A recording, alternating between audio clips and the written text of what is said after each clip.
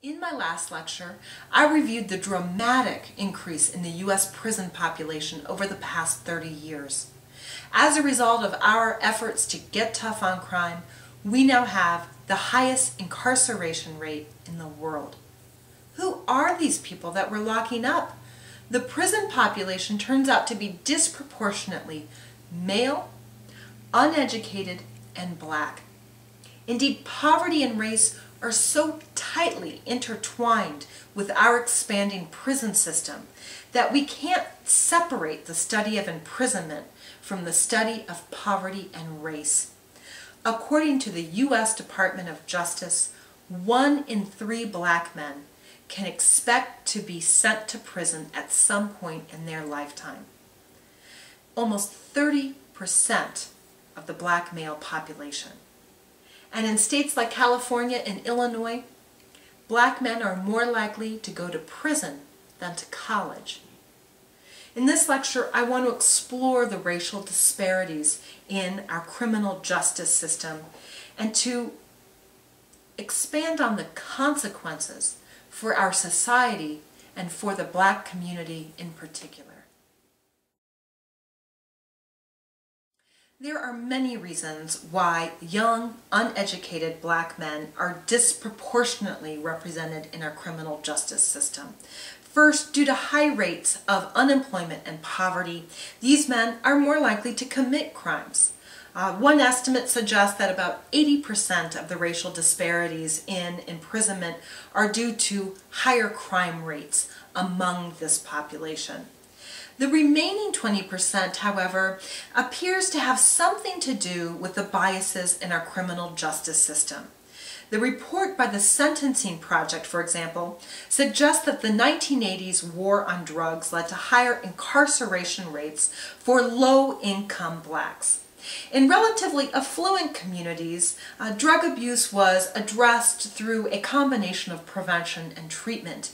In low-income communities, it was addressed primarily through policing and incarceration. So blacks who are concentrated in low-income neighborhoods um, constitute 13% of drug users but represent 33% of those arrested for drug-related offenses.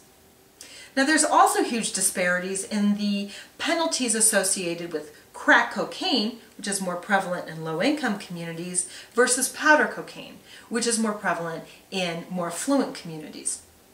Federal legislation adopted in 1986 and 1988 um, imposed a mandatory five-year prison sentence for much smaller amounts of crack cocaine than powder cocaine. And the effect uh, uh, was that um, blacks who were more likely to use crack cocaine um, were more likely to be imprisoned for drug use than whites who were more likely to use powder cocaine. A related issue is that black men are more likely to be policed than their white counterparts. Racial profiling is a practice in law enforcement in which people are subjected to greater scrutiny due to stereotypes about their race. The practice originated in a program called Operation Pipeline. This was a program started by the Drug Enforcement Agency in 1984. And the program trained police um, how to recognize and, and stop potential drug couriers using certain markers of drug use and criminality. Things like wearing gold jewelry or having fast food wrappers in your car. Um, after Operation Pipeline, it became common for local police agencies to use race as a marker of criminality.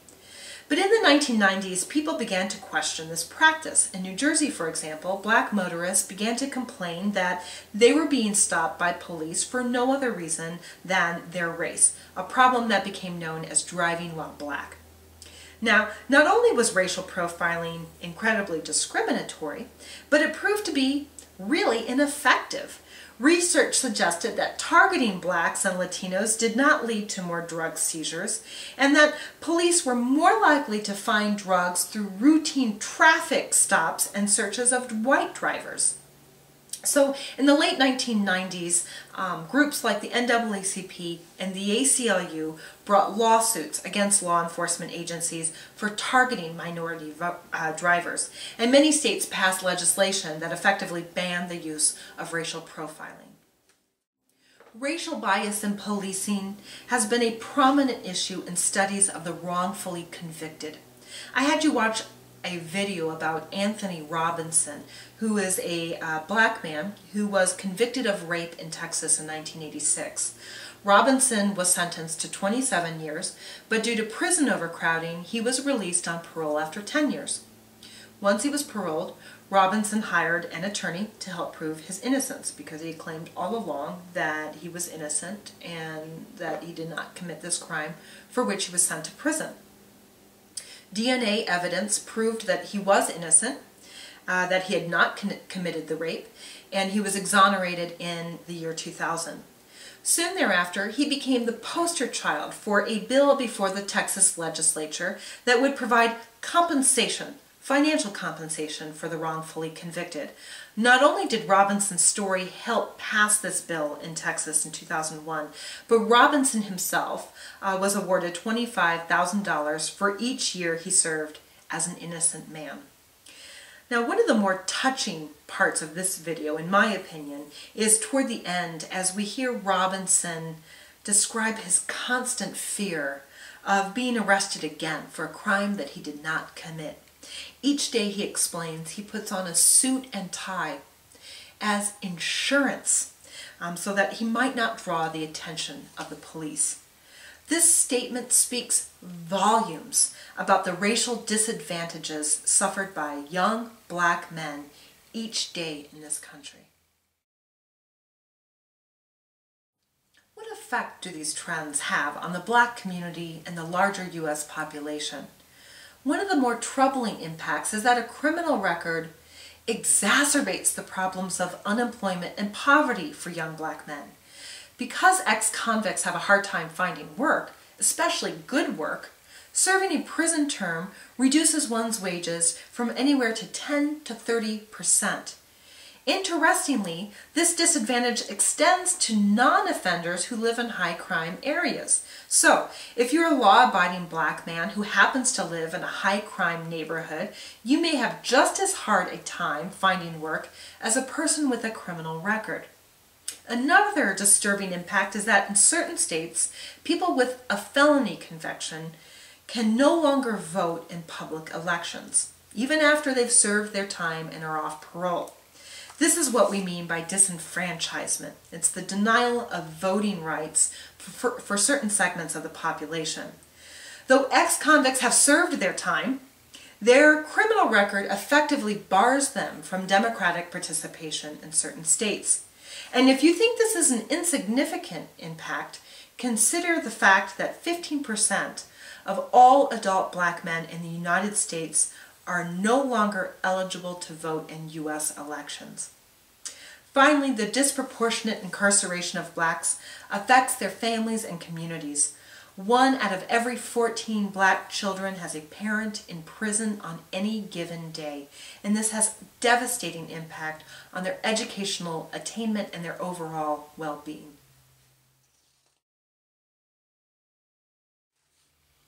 Today we can say that we've abolished slavery, that we've done away with racist policies and customs, and that we have seen a real decline in racist attitudes. But we can also say that today we now lock up young uneducated black men in numbers that have never been seen in U.S. history. Today, we are more likely to offer a young black man funding as a federal or state prisoner than we are to offer them funding as a college student. Now, it's reasonable to expect that a criminal should pay for their crime. But it's also reasonable to think that innocent people shouldn't have to fear racial bias in our criminal justice system. That ex-convicts who have served their time should not have their voting rights denied, and that children shouldn't have to pay for the crimes of their parents.